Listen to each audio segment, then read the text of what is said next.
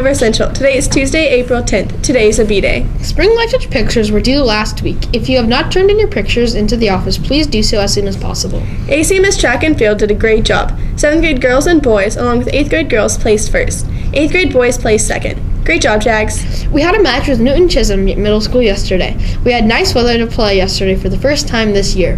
The match was well played, and the outcome was Andover Central 14 and Newton Chisholm 4. In singles, player winners were Gavin Reeves, Leo Worth, Lou Blackman, Beck Hengy, June Mion, Cameron Strickland, Drew Friesen, Braden Bumgardner, Cole Newson, Blake Wilson, and Ben Foltz. The double winners were Worth and Blackman, Newton and Hingy, Strickland and Wilson, and Friesen and Bumgardner. Our next match is on Thursday, April 12th at Goddard Eisenhower. Starting time is 3:30 p.m. Please come out to cheer on our team. Painted Jags is scheduled for this Friday, April 13th from 5:30 to 8:30 p.m. If you are interested in attending, stop by the office and pick up a registration form. Registration forms are due by Wednesday, April 11th. Lunch today in line 1, chicken and waffles with syrup or sausage, egg and grilled cheese. In line 2, strawberry chicken salad or a pasta bar. Happy birthday to Annabelle Mutinda and Cole Schellenberger.